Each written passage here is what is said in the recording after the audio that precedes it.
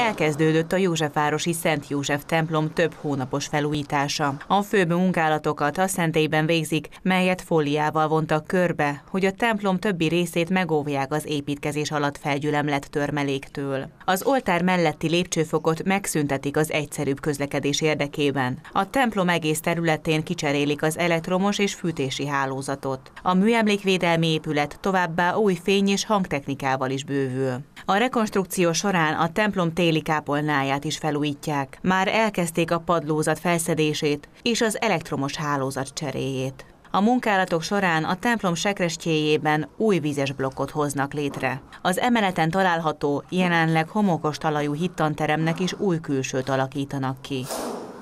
A templom harangtornyában is elkezdődtek a munkálatok. A bejárat mellett mosdókat alakítanak ki, a haranghoz vezető lépcsőket felújítják, illetve a gépi harangozást is átalakítják. A Szent József templomban a felújítás ideje alatt nem szünetelnek a liturgiák.